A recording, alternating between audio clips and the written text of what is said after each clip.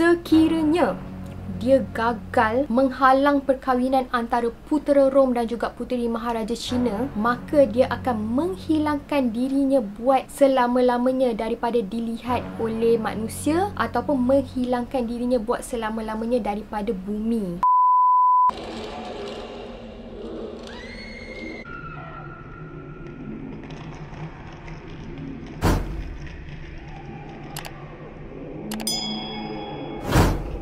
Assalamualaikum. Okey korang, so hari ini kita akan bahaskan topik berkenaan dengan satu makhluk yang sangat misteri yang bernama Garuda. Jadi macam apa yang korang tahu, Garuda ni merupakan satu makhluk uh, yang berupa seperti burung tetapi ianya sangat besar tau. Dia boleh dikatakan sebagai burung gergasi.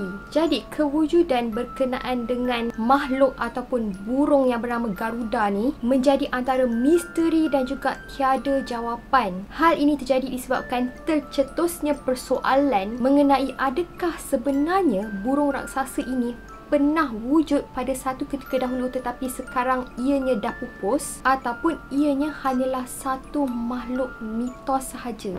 Hal ini kerana tak ada penemuan fosil Garuda sampailah sekarang tau. Tetapi sekiranya memang benar yang Garuda ni merupakan makhluk mitos, maka dengan itu persoalan mengenai kewujudannya akan menjadi semakin pelik tau. Hal ini kerana cerita mengenai burung raksasa yang berkuasa mistik ni dipercayai berada di dalam banyak budaya masyarakat berlainan negara bahkan berasingan benua tau jadi sebagai contoh selain Malaysia kepercayaan terhadap Garuda ini juga turut dipercayai di negara-negara lain seperti Indonesia, India, Thailand dan juga Mongolia. Sebagai contohnya lah kan, dalam ajaran Hindu, Garuda ni dikatakan haiwan tunggangan Dewa Vishnu. Manakala bagi doktrin Buddha pula, Garuda ni dianggap sebagai makhluk mistik yang bermusuhan dengan naga tau. Jadi sebenarnya Garuda ni sama juga macam naga di mana kisah tentang Garuda ni sentiasa berada di kebanyakan cerita-cerita mitologi uh, di kebanyakan negara. Cuma tak ada siapa yang dapat buktikan kewujudannya secara nyata. Jadi betapa terkenalnya burung raksasa ini, Garuda ini juga turut dipercayai di dalam masyarakat-masyarakat lain seperti Jepun, Rusia, China serta negara barat tau. Tapi bagi negara-negara lain ni mereka tak mengenali Garuda ni sebagai Garuda lah. Mereka telah tukarkan nama sebagai contoh. Antaranya di negara lain, Garuda ni dikenali sebagai Phoenix, Firebird, Karura dan juga Kanggarit. Malah ada juga kerajaan-kerajaan tertentu yang telah menjadikan burung Garuda ini sebagai simbol atau jata negara tau. Antaranya seperti negara Indonesia, Thailand dan juga Mongolia. Di mana ianya seolah-olah seperti makhluk ini seakan-akan pernah wujud tau di dunia ni di mana ianya dipercayai sejak turun-temurun di dalam budaya penduduk negara berkenaan. Okey, jadi sebabkan kita ni duduk kat Malaysia, kali ni kita akan ceritakan tentang hikayat burung Garuda menurut um, cerita based on Malaysia lah. Jadi sejarah tentang kepercayaan tentang burung Garuda di Tanah Melayu ni dipercayai berasal daripada kisah hikayat Merong Mahawangsa. Jadi disebabkan ini adalah cerita hikayat bermakna ada pelbagai versi lah. Dan kalau korang tanya adakah cerita ini benar ataupun tidak, memang boleh dikatakan tidak ada kepastian kepastian sama ada ianya benar ataupun tidak. Jadi pada korang yang akan dengar cerita mengenai legenda burung Garuda ni selepas ni, anggaplah ini sebagai hiburan semata-mata dan sebagai info tambahan. Dan macam biasalah, biasanya cerita-cerita hikayat macam ni akan terselit pengajaran yang bermakna kepada masyarakat dan juga generasi akan datang. Jadi tanpa buang masa lagi, jom kita start.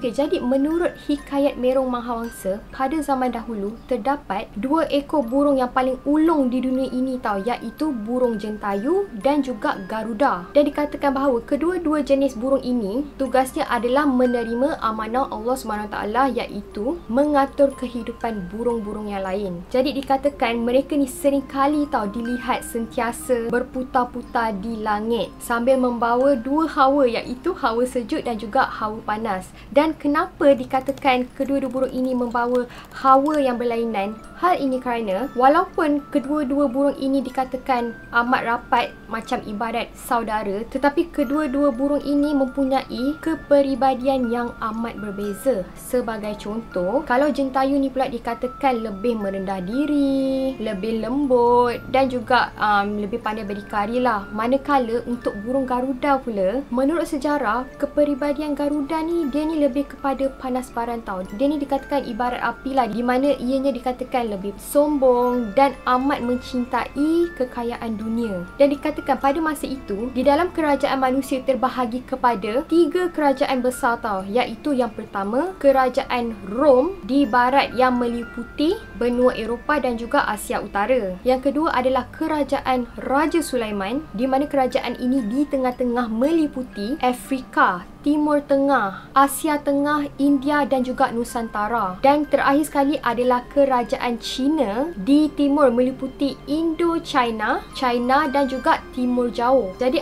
kisahnya tersebutlah pada suatu hari masa tu dikatakan macam Jentayu ni dan juga Garuda ni tengah lepak lah kan.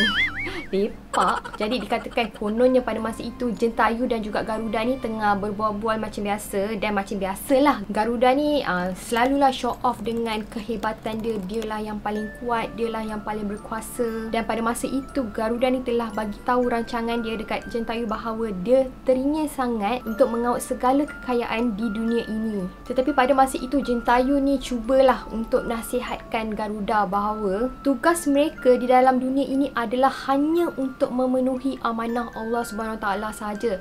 Dan Jentayu juga ingatkan Garuda lagi sekali bahawa setiap makhluk mesti ada kelemahan. Dan rupa-rupanya nasihat Jentayu ni telah membuatkan Garuda ni koyak tau. Dia tak boleh terima bahawasanya dia ni mempunyai kelemahan. Dan disebabkan nasihat yang kecil itulah akhirnya Garuda telah memutuskan tali persahabatan antara dia dan juga Jentayu. Dan macam kita tahu Jentayu ni kan lebih lembut kan. Maka dengan itu dia pun terus rasa sedih dan telah berduka lara sebab walaupun dia telah minta maaf dekat Garuda tapi Garuda tetap tak boleh maafkan dengan kata-kata yang telah dikeluarkan oleh Jentayu tadi. Maka dengan itu Jentayu pun telah terbang ke atas langit dan meninggalkan Garuda. Dan dalam perjalanan pada masa itu Jentayu ni telah singgah di negeri Rom tau. Dan pada masa itulah dia telah terserempak dengan Merong Mahawangsa. Katakan kononnya pada masa itu, Merong Mahawangsa ni pernah menyelamatkan Jentayu daripada termakan buah mega bayu yang beracun. Dan oleh sebab itulah sebagai tanda berterima kasih, Jentayu ni telah mengubah dirinya menjadi sebilah panas sakti dan telah mengingatkan Raja Merong Mahawangsa agar melepaskan anak panah sakti ini ketika Raja Merong Mahawangsa ni berada dalam keadaan yang sangat bahaya. Dan beberapa tahun kemudian tiba-tiba tersebarlah sebuah berita yang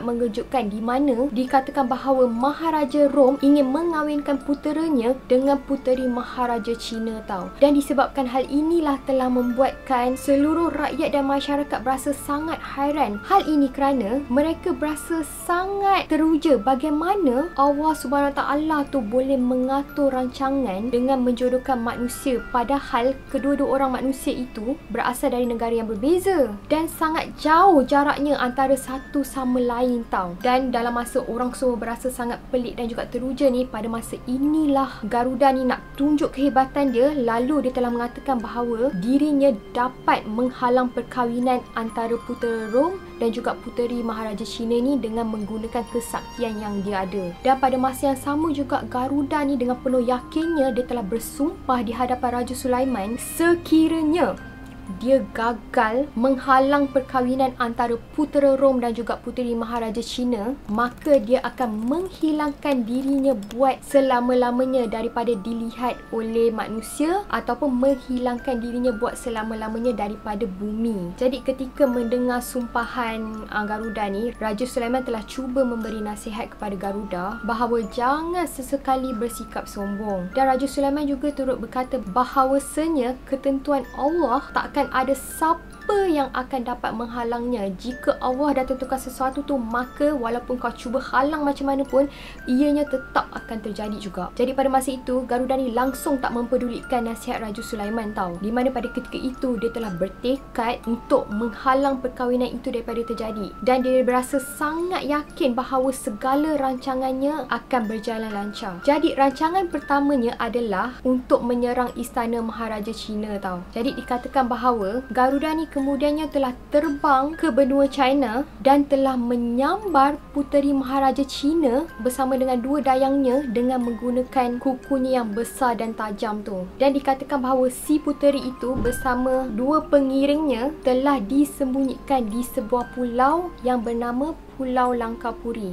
Jadi di manakah Pulau Langkapuri itu? Pulau Langkapuri itu sekarang dikenali sebagai Pulau Langkawi. Dan dikatakan pada masa yang sama, rombongan mempelai putera Rom ni pula sudah memasuki Tanjung Harapan tau. Di mana rombongan itu telah diketuai oleh Raja Merong Mahawangsa iaitu Raja Merong Mahawangsa ini berperan sebagai peneman dan juga saudara kepada putera Rom ini. Jadi pada masa itulah ada burung Raja Wali yang sedang berlega di langit telah terbang ke Pulau Langkapuri Puri itu dan telah menyampaikan khabar berita kepada Garuda bahawa mempelai putera Rom telah tiba di Teluk Benggala. Jadi tak apa buang masa lagi, di Teluk Benggala tu pula, Garuda ni telah menyerang dan memusnahkan Jong Bahtera Rom yang berjumlah 100 buah lengkap bersenjata tau. Dan pada masa itu, anak panah umpama seperti hujan telah menuju ke arah Garuda. Tapi tak ada satu pun anak panah yang boleh mencederakan Garuda tau. Di mana pada ketika itu telah menggambarkan bahawa betapa kebalnya Garuda ini. Jadi part climaxnya adalah pada masa itu Garuda Buddha ni telah memuntahkan api dari paruhnya tau. Paruh dia kan besar kan. Dan hal ini telah menyebabkan habis ke semua bahtera ni hancur terbakar. Dan pada masa itulah dikatakan putera Rom pula telah jatuh ke laut dan hilang dari pandangan. Dan di saat itulah ketika Raja Mehro Mahawasa ni fikir bahawa mereka ni tak ada um, harapan lagi. Maka dengan itu Raja Mehro Mahawangsa ni telah melepaskan anak panah saktinya tu. Di mana anak panah itu telah telah luncur ke udara umpama kilat putih tau. Sambil membelah langit dan pada ketika itulah anak panah itu telah bertukar menjadi jentayu. Dan maka dengan itulah jentayu telah berhadapan semula dengan sahabat lamanya iaitu Garuda. Dan maka dengan itulah Garuda dan juga jentayu ni telah berlawan dan berperang antara satu sama lain. Dan ketika pertarungan ini ianya telah menyebabkan Garuda ni berasa sangat terkejut tau. Hal ini kerana dia tak sangka kekuatan jentayu ni ni rupa-rupanya seimbang dengan dia. Sebab sebelum ni mungkin Jentayu ni tak pernah tunjukkan kekuatan dia. Dan Garuda ni ingatkan dia je lah paling kuat. Dan bila mereka ni bertarung betul-betul rupa-rupanya tidak dapat disangka-sangka. Rupa-rupanya Jentayu ni pun mempunyai kuasa sakti yang amat dahsyat. Jadi masa mereka berlawan ni kedua-dua daripada burung ni tak nak mengalah tau. Dan akhirnya Jentayu ni macam kita tahu dia ni kan lebih lembut lebih mudah mengalah. Dan oleh sebab itulah Jentayu ni telah membuka ruang kepada Garuda di mana hal ini telah menyebabkan Garuda ni telah menikam ulu hati Jentayu dengan menggunakan susuh kirinya. Jadi pada masa itulah Jentayu akhirnya kehilangan nyawa lalu mati di tangan sahabat baiknya sendiri. Dan tanpa rasa sedikit penyesalan pun masa Garuda ni tengok Jentayu ni dah mati dia terus bersorak riang tau. Dia telah terbang mengitari alam dan mengkabarkan berita bahawa dia telah pun menang. Dan pada masa yang sama Garuda ni juga turut berasa bangga kerana rancangannya untuk menggagalkan perkahwinan antara dua kerajaan besar telah pun berjaya. Akan tetapi rupa-rupanya tanpa pengetahuan Garuda sebenarnya putera Rom tu telah berjaya menyelamatkan dirinya dengan berpaut pada papan ketika hanyut di lautan. Jadi pada masa yang sama juga Raja Sulaiman dikatakan mendapat ilham bahawa putera Rom yang telah hanyut itu akhirnya terdampar di laut Selat Melaka dan pada masa itu atas perintah Raja Sulaiman maka Raja Sulaiman telah memerintahkan sekumpulan jin untuk bertindak menyelamatkan putera Rom dan puteri Maharaja Cina yang berada di Pulau Langkawi itu jadi pada masa itulah Garuda dengan bangganya telah pulang semula dan menghadap Raja Sulaiman dan telah memberitahu bahawa rancangannya akhirnya berjaya. Dan tak lama kemudian, sebaik sahaja pintu pagoda dibuka, maka pada masa itu keluarlah putera Maharaja Rom dan juga puteri Maharaja China ni tau untuk menghadap Raja Sulaiman. Dan maka dengan itu disebabkan putera Maharaja Rom ni masih selamat, maka kedua-dua pewaris kuasa besar dunia ini berjaya disatukan. Dan pada ketika itulah Garuda berasa sangat terkejut dan berasa sangat malu. Lalu tidak lama selepas itu dia telah terbangkan dirinya ke langit dan sejak daripada itulah tak ada sesiapa pun yang dapat melihat kelibat Garuda sampailah sekarang. Okey, jadi sampai itu sahajalah cerita mengenai legenda Garuda untuk tanah Melayu ni. So kepada korang yang tanya adakah cerita ini benar ataupun tidak, memang tak tahulah sama ada ianya pernah terjadi ataupun tak. Rasanya macam ianya hanyalah sekadar hikayat ataupun mitologi sahaja. Tetapi bolehlah dijadikan sebagai pengajaran. Sebagai contoh, macam Garuda ni lah sebabkan dia ni terlalu sombong, dia rasa dia lah paling berkuasa, dia rasa dialah yang paling kuat dan dia berasa sangat yakin akhirnya dia juga yang mendapat malu. Okay, jadi thank you so much kepada yang dah tengok video ni sampai habis. See you again next time and bye!